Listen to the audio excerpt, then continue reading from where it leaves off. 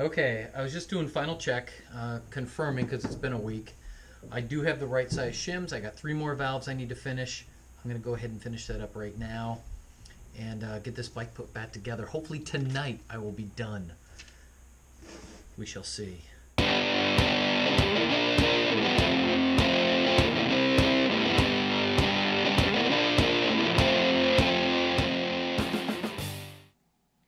Goop. You know the process. We've been through this. This should go pretty quick. Mostly just the reassembly. And then label up. Oh, that fit perfectly. Oh, I'm so happy to be back on this and getting this done. We were at the finish line and I ran out of shims. But you know, my fault. Um, I underestimated I think what I was thinking is I was going to leave the ones that were close to the top spec. But I was wrong. As I was doing the math, I realized I could bring them all down into that middle area. All right, another 170.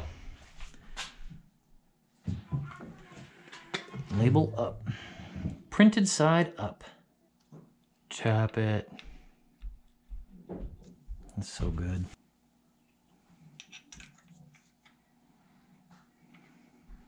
Okay, look at that, guys. Put a little more goop on this one. I think I was too sparing when I started. Put a little more goop on all that.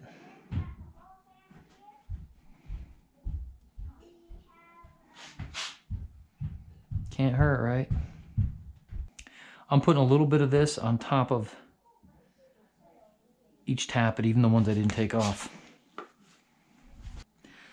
So the idea behind assembly lube is that it's sticky and it'll actually stay on the metal surface you put it on, giving it a protection when you do the initial start before the oil can pump up.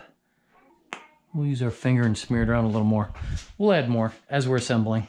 All right, I have the exhaust cam. The exhaust cam should be two. Two at the top. And we don't want to drop the chain. You remember, that was a very huge priority for us.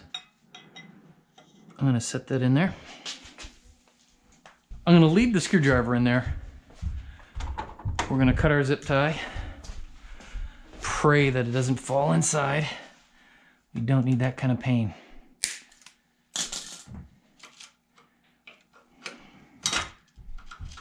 And we're gonna go over here to the side with this.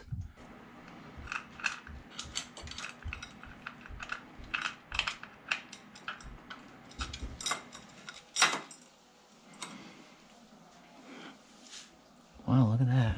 So this is exhaust. Now, if you get your cams messed up, by the way, right on the cam, right under here, it says exhaust, EX. On that one, it says IN. I'm not gonna pull that one out, but right here, IN. See that?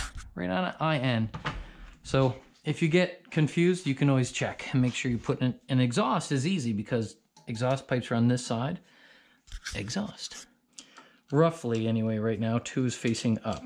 Obviously, we're gonna have to do some work to get two facing up and lined up.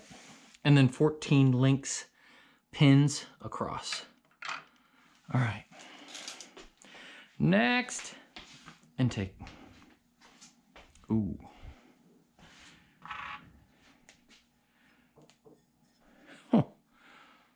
That would have been bad. Did you see that? It was one of these stuck to the wheel. That would have made for a little crunchy experience if it got in there all loose. Now that screwdriver can just stay right there for now. No hurry. Gentle. Oh, the two's, I need the three. Where's the three? Oh, three's right there. So I had to move my screwdriver up out of the way to get a little more room to wiggle. But now, or really close. Just for safety, I'm gonna leave that there for now. And what I need is two and three. You can see two, three. What I need is 14 links, and this one's lined up wrong because it has to be on the outside link. So we're gonna move you over one. Can I get one more link? Yes. All right. 1, 2, 3, 4, 5, 6, 7, 8, 10, 11, 12, 13, 14. Wow, I nailed it. These are still aligned. Right? Yep, my marks are still aligned. 3, 2, 14 links apart. Yes. Tightening torque for the camshaft journals I have to put on now. 10 newton meters. 7 pound feet. Oh, that's cool. They put zip ties. Oh, that's a really good idea. Just so the cam chain never moves.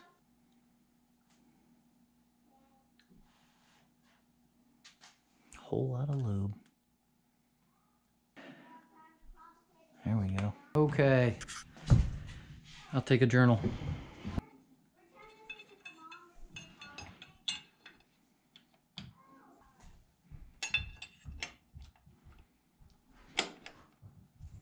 It's funny because right now this feels really easy, but I can't help but to feel like I'm missing something.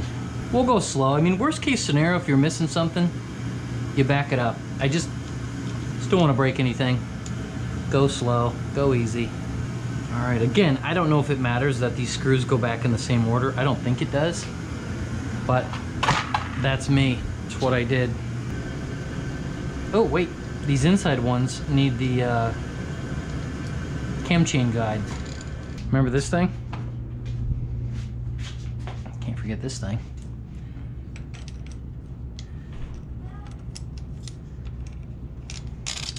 There we go. Now I notice on these caps, there are some uh, dowel pins sticking out. They're, uh, obviously they press in and they help align alignment so go down slow, really slow. If you feel anything stop, then wiggle and align things to make sure you're not forcing something to break. You guys remember this, this is a exceedingly slow and tedious process, so I will just fast forward through it. Um, I'm gonna follow the numbers on the cast item here in ascending order and tighten them down evenly.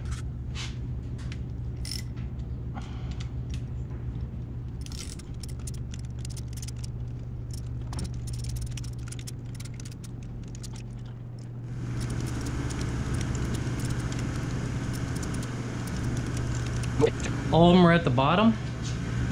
I bought this beam wrench years ago because I read when I was in college that beam wrenches were more accurate and less dangerous to use on a very sensitive motor like a like a motorcycle motor. So I need newton meters. I think it said 10 newton meters. 10 newton meters. So it's a 3 8 drive and we're gonna follow the order. And we're still, if there's some movement here, I'm not gonna just crank it to 10. I'm gonna go to five. Five.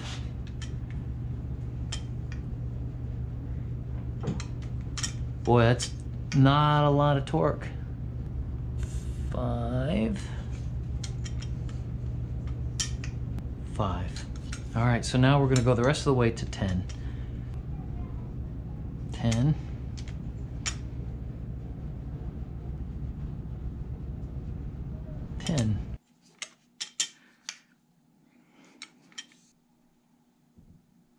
Ten. All right.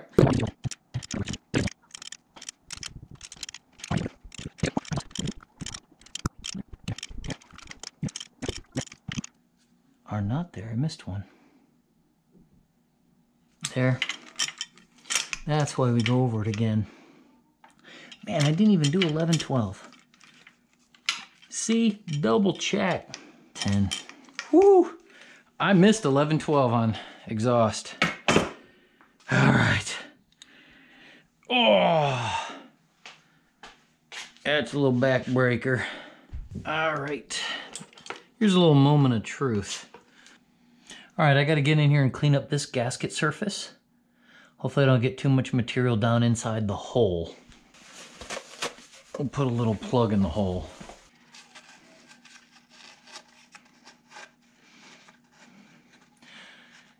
And then when you pull it out, it pulls hopefully the material with it.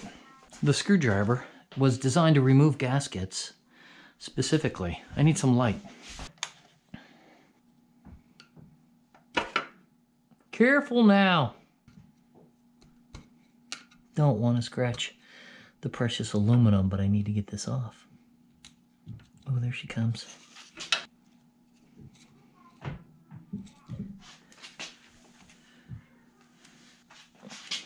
Oh, we got it started.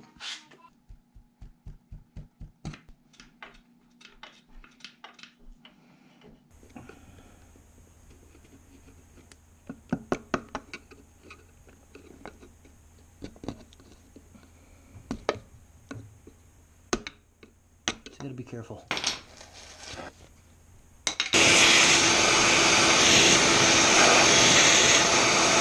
When I was a kid, I spent a lot of time scraping gaskets. That's how you learn from your dad. You know, if you want to be around him, you got to do the work. But if I got some paper in the engine, I'd say, oh no, what do I do? And he'd say, that's what filters are for.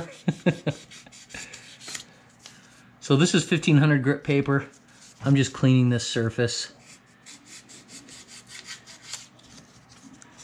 If you get a little bit of paper inside your engine, you're okay, is what he was telling me. All right, we're gonna do a little, hopefully tracing. It pretty clear?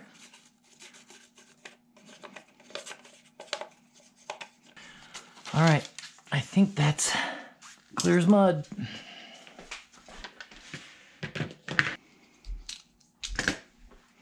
Hmm. All right, this is what I cut out. Hey, that's really good. That's surprisingly good.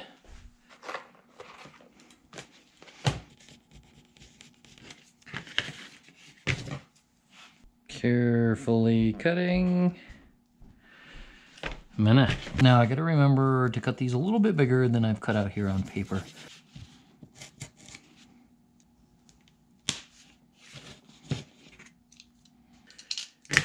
All right, so there's my gasket.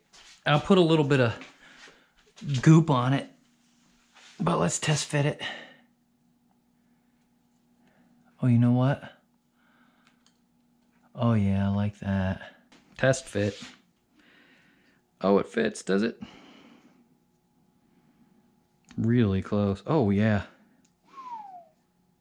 Oh, look at that. Oh crap.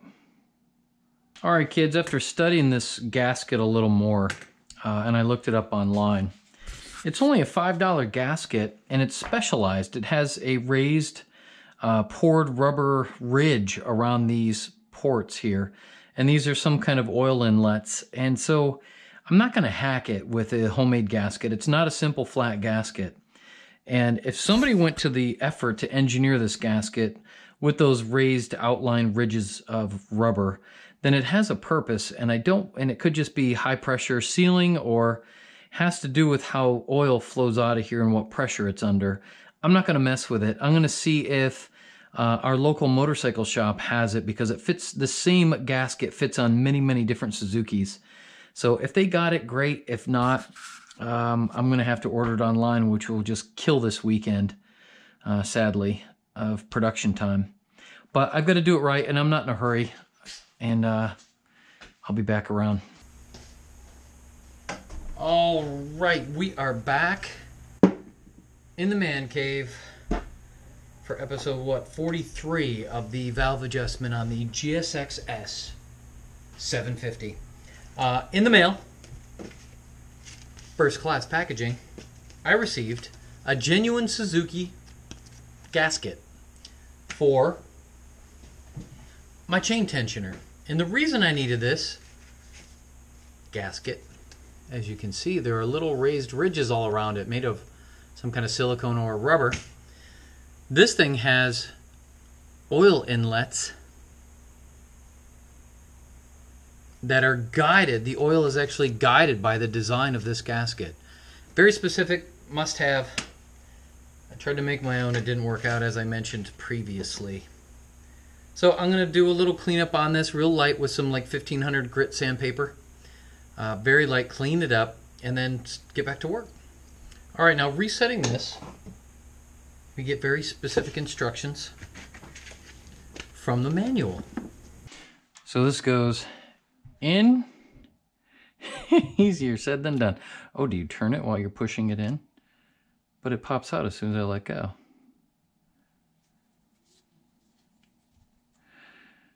Mm-hmm.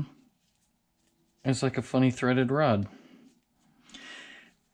It is a threaded rod, and it's not easy to do, and it hurts my hand. Oh, and it just popped out. Arg. Oh, it just won't stay. Oh, that hurts a lot. All right, we're hoping this rubber sticky glove helps. Ooh, it's a little slippery.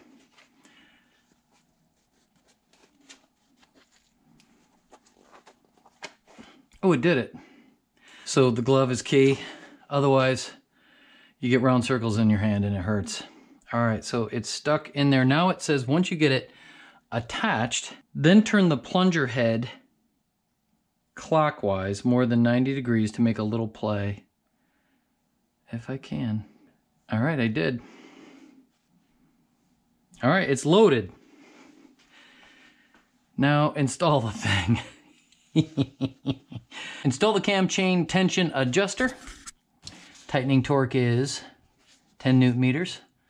Remove the cam tension adjuster service cap and gasket. Then I gotta reach in and unhook the outer circlip A from the groove by pushing the step part of the plunger head with a screwdriver. All right, so I gotta reach in and release that little, it's hard to see, but I gotta reach in and release it with a screwdriver by pulling on or lifting up that little clip. Mr. Gasket, you're so cool. Look at that. Just like it was made for it. You know, mine wasn't bad though.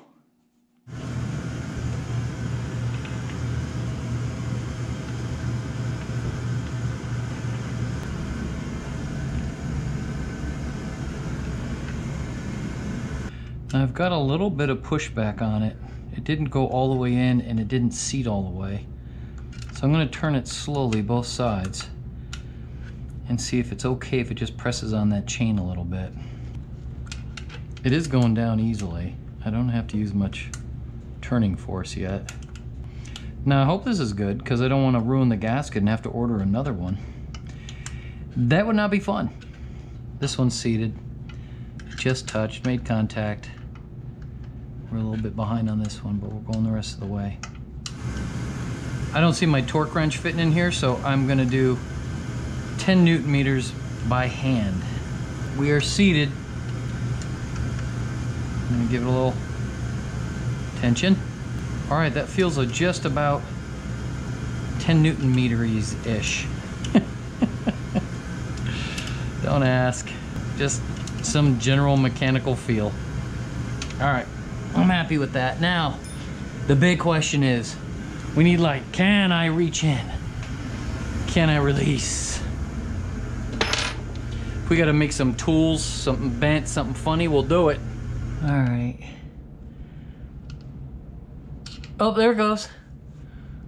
It slid. All right, what I did was I went in on the, uh, it's, it's a C-clip basically. I just pushed it up and back, and then it released it, and I saw it slid slide forward. So we've got cam chain tension, and look, that sucker's tight. That's awesome. All right, let's check our alignment marks real quick. Woo! Alignment marks, alignment marks, let's go.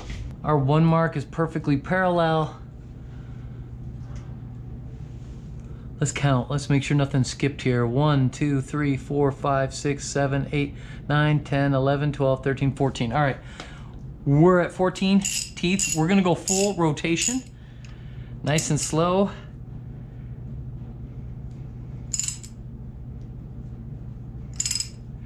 Make sure nothing kisses anything. This is the moment of truth, guys. I'm going real slow on purpose here. All right, that should be just about 180. Coming around. There's three. there's two. It looks so good. I don't have any reason to think we missed anything. Didn't have to remove the motor. Yeah, boy. That's too much. I'm sorry. I will edit that out. All right, now we just got to verify that the valve gap is correct before reassembling the engine. Very nice. It's perfect. All right, I think next step is to put the cover back on. I gotta make sure that the surface is clean though. There is some, uh, I'll show you. There is some built up silicone, RTV, right here. I'm gonna reapply some of that and put it back together and use the same gasket I used before. They did not apply it out here, just on this edge and on the other edge. So that's all I'm gonna do. And that gasket looks like new, so I'm not gonna worry about it. I'm not gonna replace it. But I am gonna clean this stuff off. Comes off real easy. I'm just using my fingernail. I do not wanna gouge the aluminum. Boy, I feel good about that cam. Feels good, looks good. It's a little weird not doing it with a degree wheel, but I don't have a degree wheel. I followed the manufacturer's instructions and everything appears to be exactly as it was when I took it out. Worked out nice. Oh, before I forget, let's put the plug back in this hole. Cam tensioner plug here. It does have a gasket. I'm going to reuse it. It's like a little washer gasket. It's pretty hardy. I'm gonna put it back in though.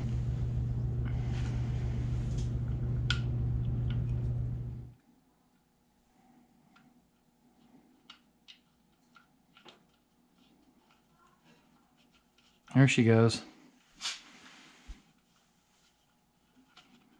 All right, now we just need special tool number 33, I think we called it. This is a very valuable tool. There's a lot of labor and time put into it, and it saved a ton of labor and time.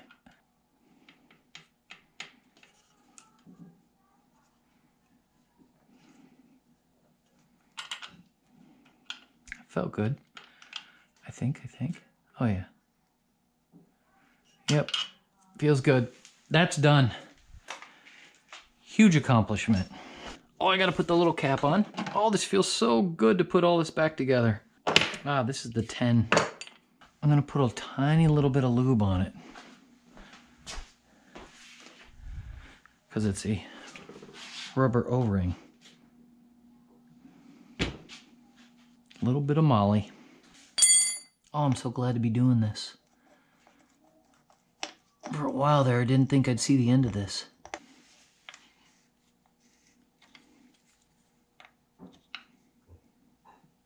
The torque spec on that cap is 11 newton meters, but again, I used manual mode. All right, cylinder head cover. Now, if you got lots of money, order all these gaskets. I'm gonna try it without it. If I got a leak, I own it. So You'll have to make your own judgments on that. Check and adjust the valve clearance. We did that. Apply bond to the cam endpoints of the gasket as shown. Now, by the way, when I stored this thing, I'm not sure I know what this is. I'm not even sure it came off the bike. I'm gonna leave it here just in case I need it. I'm gonna clean this up too. When I stored the cylinder head, by the way, I stored it this way up so I didn't put table pressure on the gasket and create flat spots. That would have been bad. But I'm going to go ahead and clean this up the best I can. Just try to pull off any of the goop if there is any on this side.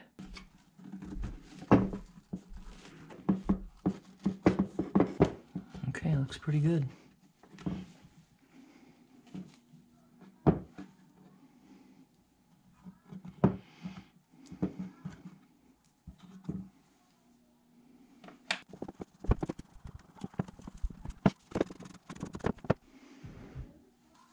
I'm just cleaning and inspecting. Don't want to just slap them back, back on if something's ripped. If anything, they're a little dry. But next round, I'll definitely have to replace these.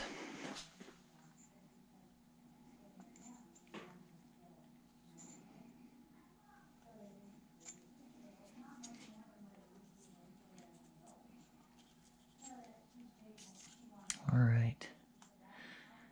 That's four. Goop. Ultra Black, maximum oil resistance gasket maker. And it's for uh, high heat, high engine, engine applications. All right, that's really good. I'm gonna wipe it dry and make sure there's no oil on the surface. I don't want the moly underneath the gasket.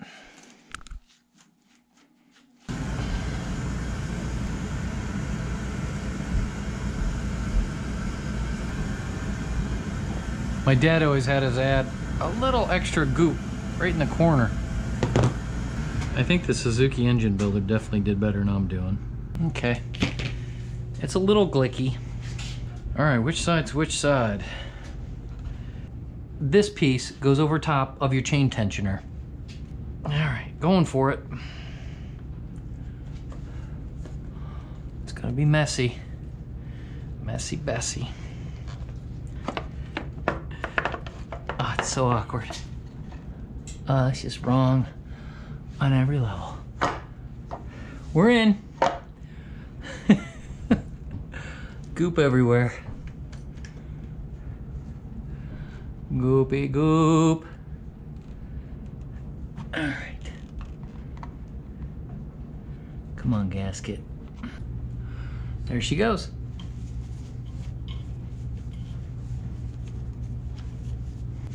Wiping off the goopy goop.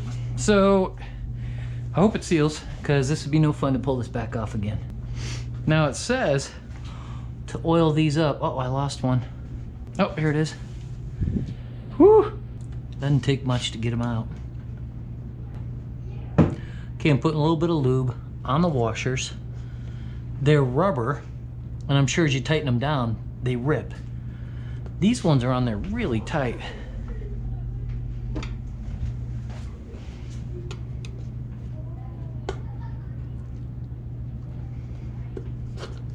There she comes.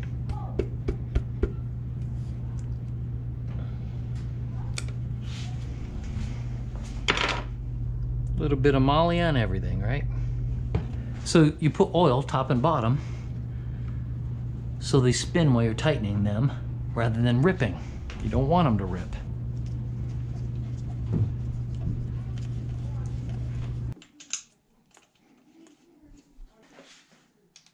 Six millimeter. All right, I'm just gonna tighten these down evenly as possible. Now this is too long to get an accurate reading. This is too long, but I don't have short ones. I wish I did. So I'm gonna get a feel for it, for what 11 looks like. And go from there. I'll get the ones that I can get. I'm only turning it a little bit from where it is. Oh, it's the smallest amount. So the ones underneath, I'm gonna replicate that amount of movement down here. Oh, it's hard to do. That's about it though.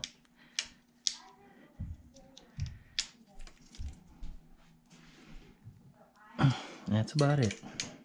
Anyways, that gave me a an idea of how tight they should be and how far they should turn. So that's good. I'm happy with that. Looks real good. So no, we won't start it tonight because we got to let that stuff set up overnight. So perhaps tomorrow, maybe, if we get ahead. Since I'm here, I'm going to put my new spark plugs in.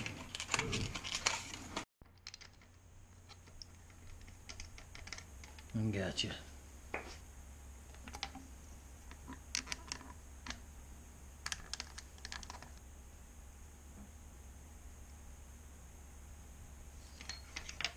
It is Friday night, and we're back in the man cave. We're gonna hopefully finish this up tonight. That's if it, you know, starts and runs and does everything it's supposed to do. So uh, right now I'm just gonna do a little cleanup, and then we'll get started. Um, I changed the spark plugs. They look great. They look amazing. They all look exactly the same, the same color. They've got a good quality burn. They just have a slight tinge of tan on that center electrode, and all of this is the way it should look. This is a very, very perfectly running bike. It is exactly where it should be. Now, the interesting thing is, I tuned this by hand with the PCV, but I didn't use a dyno, and uh, they're perfect, man. I'm pretty proud of that. All right, gearing up for the night. So first on the list, I'm gonna clean this up. It's kind of a weird fit, but you can see like there's a dimple here that lies exactly on that. This just lays on top. All right, time to mount the pair valve. The pair valve just has a little rubber doohickey right here that just slides over this bar. There it goes. Not a very sophisticated set. Now we're just gonna grab this doohickey. I'll slide this back a little bit.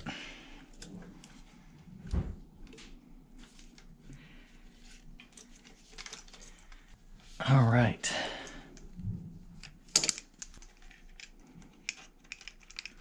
All right. Pair valve installed. Pair valve installed.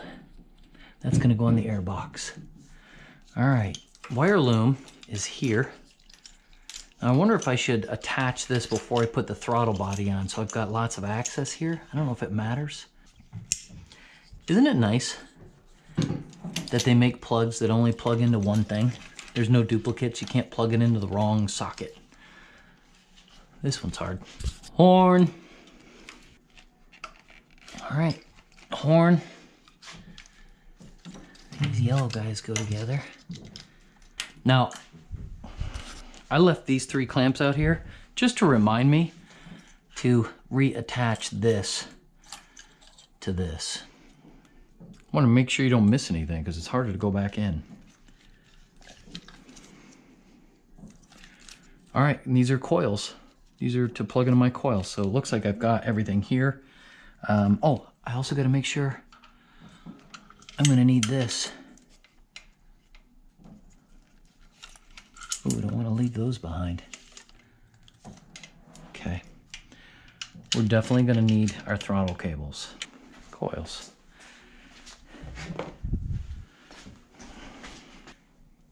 Coil.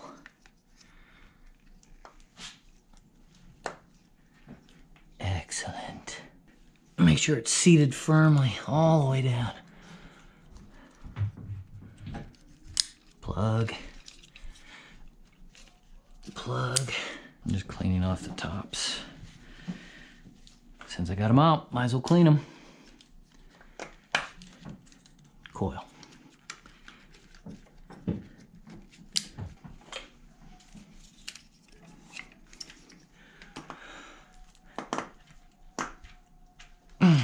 Work it down. When you're putting your coils back on, it's good to turn them a little bit and you'll feel them slowly work their way down deep onto the spark plug. That's what you want. Good contact. Make sure they're fully seated. Okay. I don't think I'm missing anything. Nope. Next up, throttle body. You know, this is going together faster than it came apart, mostly because I was being so cautious, so fearful now. Do I take the throttle bodies off? So here's what I'm concerned about.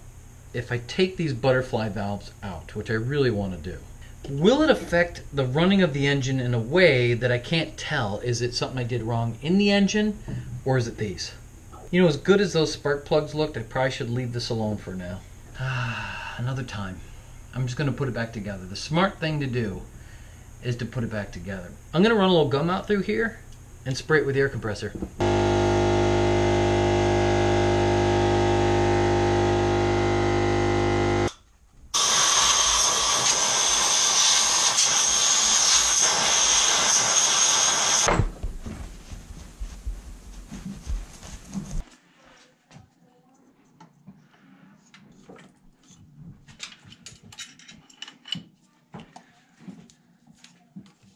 Just making sure no wires got caught, no hoses got caught. And we have a clear go ahead to push this down. Oh yeah, popped right in. All right, now I need extra long Allen wrench. Now this is such an exciting time. The reassembly is such an incredibly exciting time. However, uh, it's also a time where uh, I could miss something in the wrong order and have to take something back apart again. So I'm trying to be very aware of that. Hopefully I don't do that. All right, this is my absolute love and joy for Suzuki for having designed this through the frame shot. However, the cam cap didn't have this kind of luxury. Guess they didn't think it necessary. I'm gonna go down where it just kind of makes contact, snugs up a little bit. Then I'll do the other side and then I'll tighten them down together. Looks like it has a built-in stop. You can't over tighten it. It bottoms out. Before I knew this hole was here, I was hurting because this would just be painful, sad and painful. Just tightening it down. And then there's a spacer right there it makes contact with. And I don't think you can go tighter than that.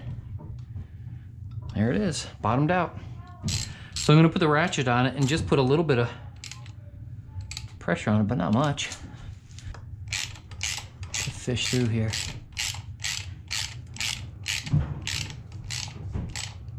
There we go. All right, I have a wire loom that needs to go and be clamped down. It was just clamped so nice and clean right here, but I think it went under this. So here, here, yeah, you can tell by the arc that's kind of built into it from memory. It went underneath. So you see how I did this? This part of the wire loom goes across the fuel rail, sits on top here. We're gonna clamp, clamp, and clamp. You know, I buy zip ties every once in a while just cause. It's funny how often you need them. The three clamps, they called them. All right, hopefully this is a good clamp.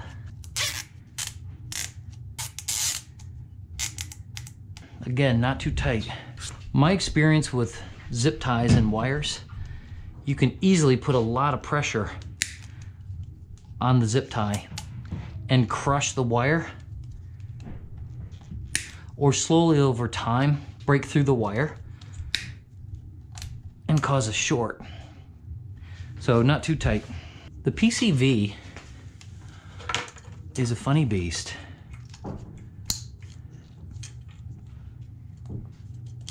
because it bypasses the fuel injector. So this normally would plug into my fuel injector. So if you don't have a PCV, a power commander, this would just plug directly into your fuel injector because it goes from the computer on the bike into the fuel injector to tell it exactly where to set the fuel. But with a power commander, the onboard computer signal goes to the power commander first. Whatever number for the fuel injector gets sent, it adds 12% roughly, and then sends that signal uh, through its wire to the fuel injector. So it's just a little interrupt and it works marvelously. So I want to go from the ECM to the power commander and then back to the fuel injector. Isn't that genius how that works? I think it is. It's so simple. Clip on the top, clip on the bottom. Clip on the bottom. This one will go under.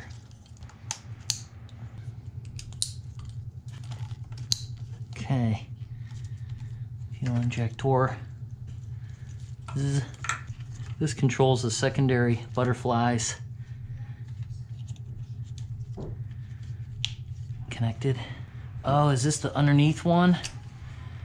Uh, I should have connected this before I set it down. what a pain in the butt.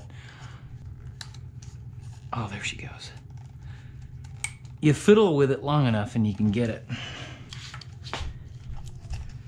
This one goes here.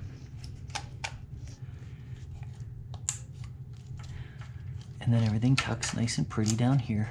Oh, throttle cables.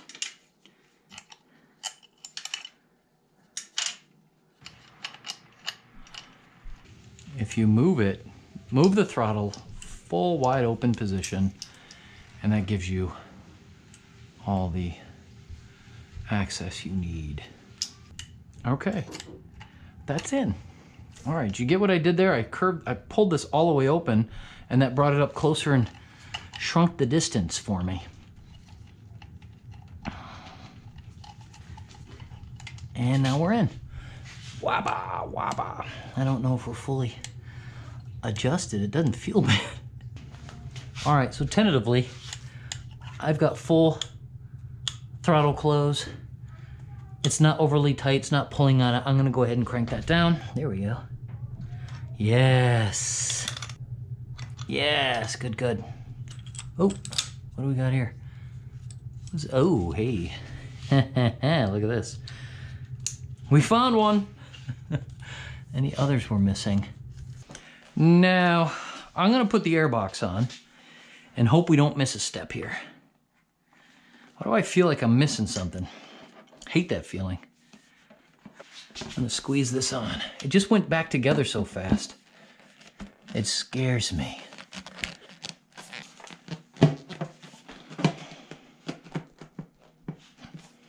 Okay. Is it seated? Yes, it is.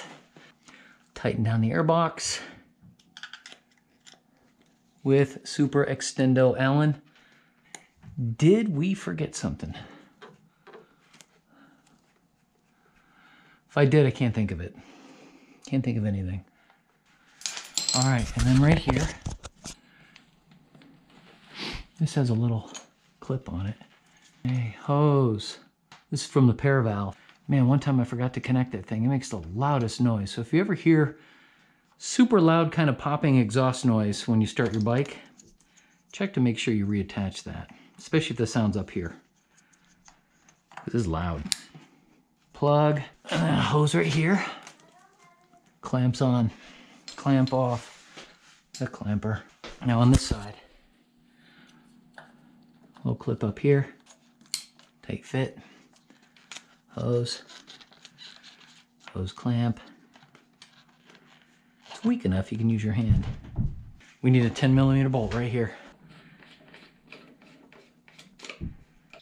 I'm getting excited, guys. I'm getting stoked. This is secured. I believe everything's attached, plugged in that needs to be plugged in. Let's go get the gas tank. All right, we anchor it down first, and then we raise it up and plug everything in underneath. All right, I'm not even gonna tighten these down yet, but I am gonna lift it and plug stuff in.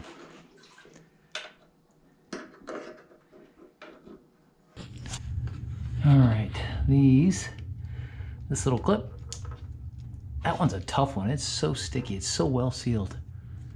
Fuel line, clip.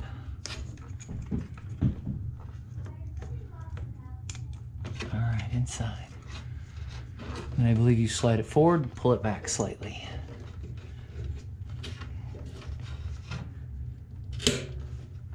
That's it. Then we got a couple hoses here. Skinny one. Fat one. That's it.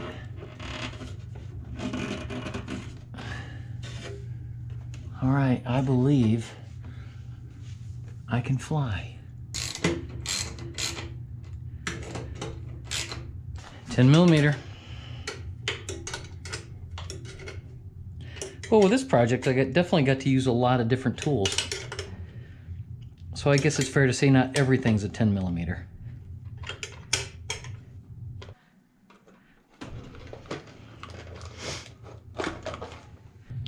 All right, all my ground wires are here.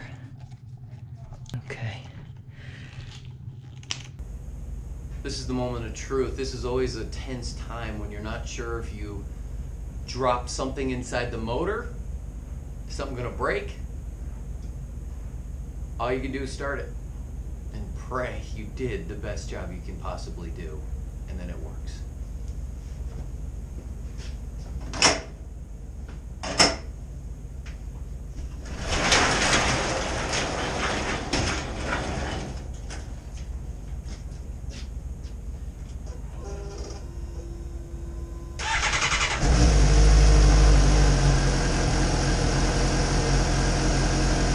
Sounds like my bike.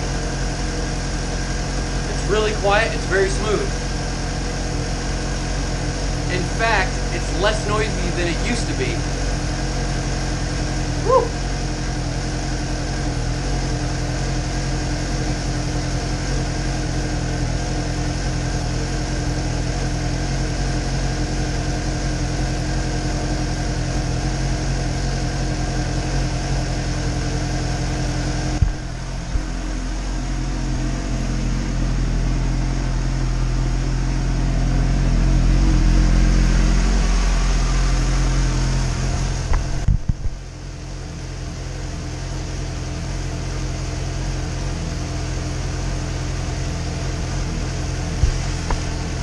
The entire valve train is quieter than it used to be. You know, I have heard about people taking the chain tensioner out and resetting the chain tensioner, and that alone makes the bike a lot quieter.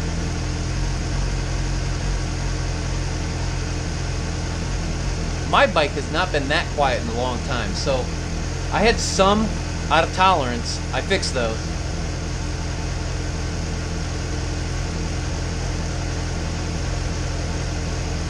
Thank you, Lord. Thank you, Lord. That was a big job. Scary job. It's a little intimidating. I don't see any oil leaks.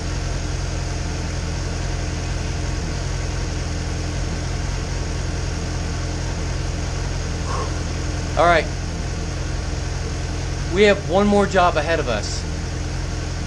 We got to remove the scratch.